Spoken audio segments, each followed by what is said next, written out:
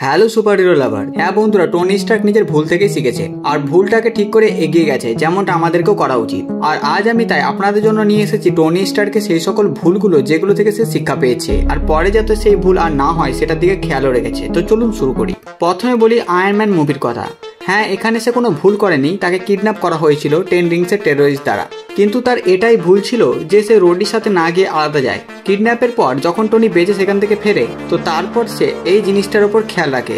তাকে কেউ খুঁজে পায়নি, যতক্ষণ না সে নিজেকে ক্যাম্প থেকে মুক্ত করে মরুভূমিতে পৌঁছায়। আর পরবর্তীতে সে অতীত থেকে শিক্ষা পেয়ে স্পাইডারম্যান হোমকামিং এ পিটারের স্পাইডারম্যান শুটে ট্রাকার লাগিয়ে দেয়। কারণ সে জানে পিটার যতই বড় সুপারহিরো হোক না কেন, বয়স তো তার মাত্র পনেরো। আর পনেরো বছরের বাচ্চারা ভুল তো করবেই। এটা সে পিটারের শুটে এই জন্যই লাগায়, যাতে কখনো যদি পিটার কোথাও হারিয়ে যায় বা কোনো বিপদে পড়ে, তো টনি তার সাহায্যের জন্য আসতে পারবে। যদিও পিটার সেই ট্র্যাকারটি খুলে নেয় আর পরে গিয়ে ফেঁসে যায়। টনি তো কাঁচা প্লেয়ার না, তার স্যাটেলাইট থেকে কেউ বাঁচতে পারে না।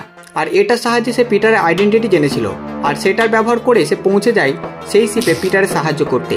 আগে কথা বলে আয়রনম্যানের মার্ক টু শ্যুটের আইস প্রবলেমের ব্যাপারে। টোনির সমস্ত শ্যুটের ব্যাপারে আমি একটা আলাদাই ভিডিও বানিয়ে দিয়েছি। তার টোটাল পঁচাশিটি শ্যুটের ব্যাপারে আমি সেখানে কথা বলেছি। আপনারা ডিসক্রিপশনের সাহায্যে সেটা দেখতে পাবেন। তো যখন টোনি শ্যুটে বরফের প্রবলেম হয়, তারপর সে মার্ক থ্রিতে সেটা ফিক্সড করে গোল্ড টাইটানিয়ামের মাধ্যমে। পরবর্তী শিক্ষা পায় সে নিজের সুটকেস আর্মার শ্যুটের কাছ থেকে। যখন হিপল্যাস ইলেকট্রিক দিয়ে টনির শ্যুটকে ড্যামেজ করে, তখন সে বুঝতে পারে তার শ্যুট ইলেকট্রিককে অ্যাবজর্ব করতে পারে না।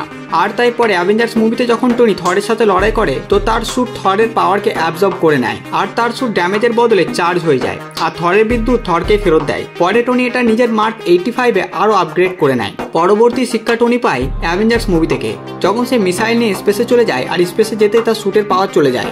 আর সে সেখান থেকে পড়ে যায়। টনির স্যুট স্পেসে কমফোর্টেবল ছিল না। পরে সে ন্যানোটেক স্যুট মার্ক ফিফটিতে সেই জিনিসটাই ধ্যান রেখেছিল। আর এই স্যুট নিয়ে সে স্পেসে আর অন্য প্ল্যানেটে গিয়েও ভালোভাবে ব্যবহার করে। আগে শিক্ষা টনি আয়রনম্যান থ্রি থেকে পায়। যখন ঠান্ডায় তার অবস্থা খারাপ, আর তাই পরে সে পিটারের স্যুট একটা হিটার লাগিয়ে দেয়। যখন পিটার ভালচারের সাথে লড়তে লড়তে নিচে জলে পড়ে আর পিটারকে ঠান্ডা লাগে, তখন পিটারকে বাঁচিয়ে টনি বলে, তোমার স্যুটে হিটারও আছে। পরের শিক্ষাটা সে আয়নম্যান থ্রি থেকেও পেয়েছে। যেখানে তার ফার্স্ট আয়ন লিজেনে যে স্যুটগুলো ব্যবহার করা হয়েছিল মার্ক এইট থেকে মার্ক ফর্টি ওয়ান অব্দি সেই সকল স্যুট দুর্বল আর নিজের ইউজারের উপর ডিপেন্ডেন্ট ছিল। কারণ আমরা মুভিতে দেখেছিলাম, টনি জার্ভিসকে বলে বলে কাজ করিয়েছিল, একে ওখানে পাঠাও, ওকে ওখানে পাঠাও। পরে সে অ্যাভেঞ্জার্স এজ অফ আল্ট্রনে নিজের আয়ন লিজেনকে আরও স্মার্ট বানায়। আগের শিক্ষা তার সিভিল আর মুভিতে হয়, যখন টনি স্যুটে অ্যান্টম্যান ঢুকে যায় আর তার তারগুলো খুলে নেয় আর টনি স্যুট ধীরে ধীরে অচল হতে লাগে। কারণ অ্যান্টম্যান টনির স্যুটের ছিদ্র দিয়ে অনায়াসে প্রবেশ করে যায়। পরে টনি মার্ক ফিফটিতে নিজের ন্যানোটেক শ্যুটে কোনো ছিদ্রই রাখেনি। আগের শিক্ষা টনির এই মুভিতেই হয়, ওয়ার মেশিন মানে রোডির স্যুট ড্যামেজ হয়ে যায় আর সে নিচে পড়তে লাগে। তখন টনির শিক্ষা আর আফসোস দুটো হয়। প্রথম আফসোস, স্পেস থেকে যখন টনি অ্যাভেঞ্জার্স মুভিতে পড়েছিল, তখন থেকে সে এটা ব্যাপারে জানতো, কিন্তু কোনো অ্যাকশন নেয়নি। পরে সে পিটারের স্পাইডারম্যান শ্যুটে একটা প্যারাসুট রাখে। পরের শিক্ষাটাও টনি এই মুভি থেকে পেয়েছিল, যেখানে টনির আর্ক রিয়াক্টারকে শিল্ড দিয়ে অ্যাটাক করে ক্যাপ্টেন তার স্যুটকে অচল করে দেয়। যদিও এখানে তারা কেউ কাউকে মারতে চাইতো না, নইলে এদের মধ্যে কোনো একজনই বেঁচে থাকতো। পরে টনি নিজের মার্ক ফিফটি ন্যানোটেক শুটে অনেক অস্ত্র রাখে, যাতে সে নিজের আর্ক রিয়াক্টারটি রক্ষা করতে পারে, আর সে অস্ত্রগুলো সব ন্যানোটেকের মাধ্যমে অটোমেটিক ছড়িয়ে যেত। সেই ন্যানোটেকের সাহায্যে শিল্ডও বানায়, কিন্তু সেটাও থ্যানোস প্রায় ড্যামেজ করে দেয় পাওয়ার স্টোন দিয়ে। আর এখান থেকে সে নিজের পরের শিক্ষাটা পায়। আর মার্ক এইটি ফাইভে ইনভিজিবল ভাইব্রেনিয়াম সিল বানায়। তো বাস বন্ধুরা, এটা ছিল টনি স্টার্কের মিস্টেক যেখান থেকে সে শিক্ষা পেয়েছিল।